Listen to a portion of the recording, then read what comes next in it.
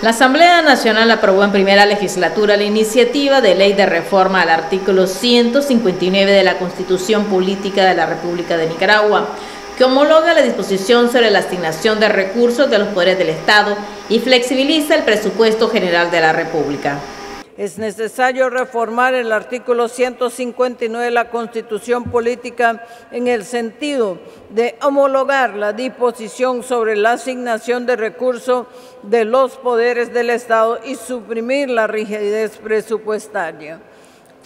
Asimismo, se aprobó la ley para el cálculo de indemnización por antigüedad laboral en caso de renuncia de los trabajadores del sector público.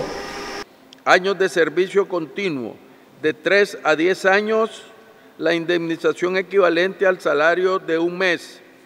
De 10 a 15 años, la indemnización equivalente al salario de dos meses.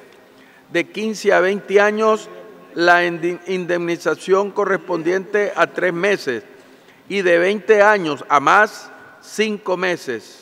Los legisladores también aprobaron una reforma a la Ley 260, Ley Orgánica del Poder Judicial de la República de Nicaragua, que establece que el Consejo Nacional de Administración y Carrera Judicial de la Corte Suprema de Justicia deberá elaborar anualmente el anteproyecto de presupuesto conforme a los lineamientos del Ministerio de Hacienda y Crédito Público. Tania Sirias, TV Noticias.